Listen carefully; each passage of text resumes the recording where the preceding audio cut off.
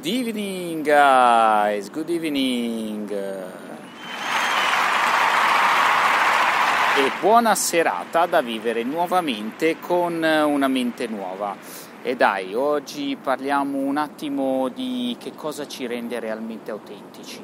Oggi l'autenticità secondo me è un fattore molto importante e non c'è prezzo all'autenticità. Oggi in una società eh, mirata al consumo, alla produzione smisurata delle cose e alla commiserazione e anche alla misura di un individuo in base al prezzo e alla eh, numerica, quello che è importante è sentirsi autentici, cioè essere realmente se stessi quindi non ricoprire un ruolo ma vivere nell'essenza, quello che siamo realmente. E vi lascio quindi con questa riflessione, dai.